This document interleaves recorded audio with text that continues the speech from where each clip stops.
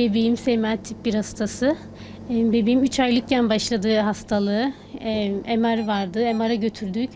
Çektiği zaman bilmiyorduk. İşte 3 ay sonra sonuçlar açıldı. Daha 3 aylıktı. Ondan sonra öğrendik ki SMA tip 1 afrodit hastası olduğunu, kas hastası olduğunu, hani vücudun çalışmadığını ve hastaneye yatırdılar. Yatırdıktan sonra MR refleksi olduğunu söyleyip 3 aylıkken NG'si takıldı. İşte NG'den sonra bebeğim yatırıldı. Çünkü zorlanıyordu nefes almaktan falan zorlandığı için yatış yatırdılar. 3 aylıkken yatırdık hastaneye ve bebeğim şey oldu. 3 defa kalbi durdu.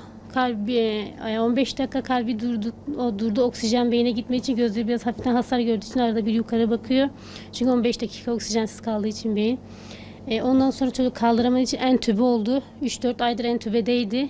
Sonra entübeden uyandıktan sonra traki önerdi doktor bey. Çünkü e, cihazlara bağlı hani beyin MR'ın sonucuna göre dedi çocuk hani şey olamaz makinelerden sökülemez dedi.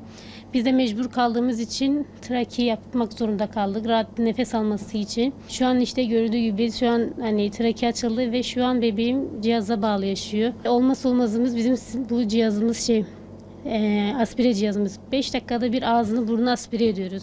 Çünkü yetmesek tıkanıyor. Tıkandığı için de hani yutkunulması olmadığı için hani akciğerlerine kaçtığı için akciğerden enfeksiyon kaptığı için yoğun bakımlık oluyor. 3 aylıkken benden alındı. Yoğun bakımlardaydı. Yeni çok şükür 2 gün önce taburcu oldu. Şu an yanımda. 11 ayın sonunda ilk defa yeni yanımda şu an. Çünkü 11 aydır yoğun bakımlarda almıyorlardı. Bizi Covid'lerden dolayı görme imkanımız olmuyordu. Doktorların bize dediğine göre bu bebeklerin 2 yaştan sonra yaşamama şey durumu var. Ama bunun bir tek soru ilacı var. O da Amerika'da olan zongelesman tedavisi gen ilacı. Onu almaya çalışıyor. Bütün sema ailelerinde uğraştığı gibi biz de onu almaya çalışıyoruz.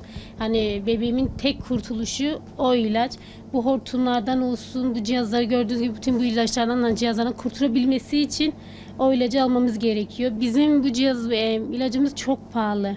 2.2 milyon dolar. Bunun ne anne ne baba hani bu imkansız yani imkansız bir hastalık olduğu için yani şu hani bizden olacak bir şey olsaydı hiç kimse ne sesimizi duyurtmaya çalışırdık ne birilerden yardım isteyebilirdik. Çünkü biz kendimiz yapabilseydik yapardık zaten hani çok büyük bir meblağ olduğu için biz yetkililere sesleniyoruz. Lütfen bizlerin sesini duyun. Hani bebeklerimiz melek olmasın, bebeklerimizi yaşatmak istiyoruz biz, yaşasın. Bütün efeler yaşasın, melek olmasın. Tek derdimiz rahat bir nefes alması. Bu cihazlardan kurtulmasını istiyorum. Bebeğim bu Ekim'in 21'inde 1 yaşına girdi. Bizim 11 ayımız kaldı. 11 ay içinde biz bu parayı toplamamız gerekiyor. 2.2 milyon doları toplamamız gerekiyor. Lütfen artık birilerin bizim sesimizi duyup bize yardım etmelerini istiyoruz.